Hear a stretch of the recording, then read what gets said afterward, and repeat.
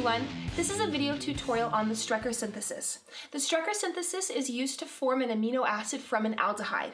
In this video, I just want to do an overview of what's happening. There is another video for the mechanism for this process.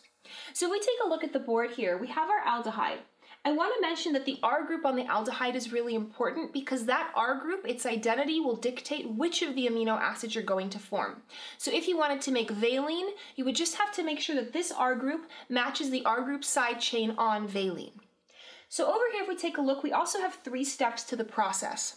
The very first step is there to add this ammonia group onto this carbonyl position here. So this reaction will basically get rid of the carbonyl and add the ammonia on there. The second step is there to add the additional carbon. If you take a look, I only have one C listed in the aldehyde, but over here in our amino acid, there are two Cs. This second C is derived from this carbon in the cyanide. The very last step is going to be to basically get rid of that nitrogen and create the carboxylic acid group. So these are the three things that are happening in the Strecker synthesis for an amino acid, and that's pretty much what happens in the process. Okay, so now we know what the Strecker synthesis is, let's apply what we've learned to an actual example. So let's say you're given an example where you're given this aldehyde to begin with and you're told that these are the reagents and you need to pick, figure out what the product is.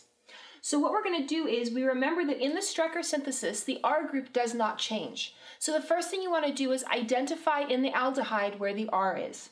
So this here would be your R group, the entire thing.